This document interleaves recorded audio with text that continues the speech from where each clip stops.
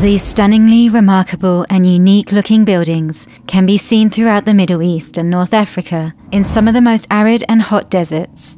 They have been found in Saudi Arabia, Qatar, Kuwait, Jordan, Egypt, and finally in Iran, where historians say they originate.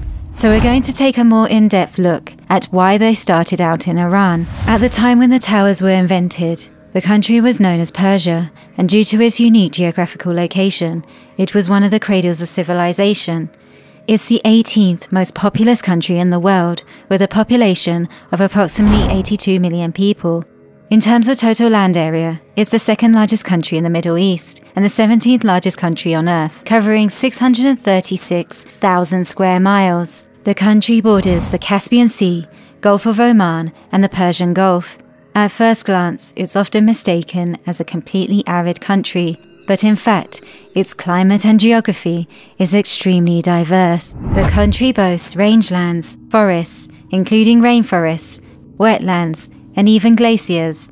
However, the country has no major rivers, with the only navigable river being the 525 mile long Karun. Only about 22% of its land area is desert, compared with its neighbouring countries, like Saudi Arabia with 95% desert, Turkmenistan with 80% desert, and Iraq with 40% desert.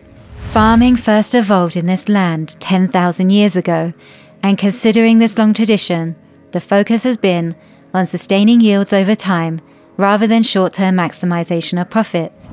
The country also boasts curiously interesting ancient architecture, such as wind towers, which create the effect of air conditioning without the use of electricity, and they're called badgirs. They also have these huge domes to store and even make ice, and they're known as yakhchals, both of which we have covered in previous videos. Today, we're going to take a look at another ingenious architectural design that is so useful and integral to survival in this country's desert. Local farmers have a problem that the soil of their lands lack adequate nitrogen, and without any notable rivers that wash nitrogen rich sediment downstream, the farmers of the region came up with their own ingenious invention. And that's where these towers come in. These towers are described as vernacular architecture a type of structure that is architecturally unique but has no single creator, likely passed down by families throughout the ages, therefore it's unknown when exactly they were invented. But there are records of their existence dating as far back as the 4th century.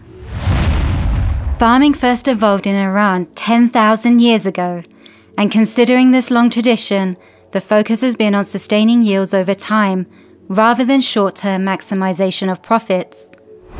And it's these particular towers that became a crucial part of the agricultural economy, providing much needed fertilizer for melons, cucumbers, and other nitrogen demanding crops, all cornerstones of Persian cuisine. So, how do these towers provide natural fertilizer with minimal effort and practically for free? First, the design plays a crucial role. The towers are made up of unbaked adobe bricks plastered with mud and can be as tall as 60 feet. Timber was seldom used. Secondly, inside the towers there are ledges of bricks creating mesmerizing patterns that enables the maximum number of coves with a minimum amount of building material. And it's these honeycombed shaped coves which the towers are specifically designed for, and that's to provide a place for doves to roost. Pigeons can enter through the holes around the outside of the towers or from the top of the structure depending on the design, which are inaccessible to snakes, the pigeon's main predator. By creating a home for these birds, the nitrogen rich guano that the pigeons deposit can be collected, which is shoveled up several times per year and sold to farmers as a natural fertilizer. For centuries, pigeons played a significant role in the Persian economy and political system. Rulers even taxed owners of pigeon towers, the equivalent of taxing salt or fossil fuels. This ingenious invention became so popular that during the 16th and 17th centuries, the idea spread across India and then to the United Kingdom and France, where only the richest people were allowed to build these beautiful towers just for the pigeons. Because unlike chicken or ducks, wild pigeons are extremely low maintenance. By just providing water and shelter, the pigeons will come. Unlike the Persians who abstained from eating pigeons, the European elite enjoyed cold pigeon pie, and instead of using dovecotes for fertilizer, they preferred to extract saltpeter from the pigeon guano, which was mixed with charcoal and sulfur to make gunpowder. Nowadays, people in the UK and France do not use them, and they have fallen into disrepair.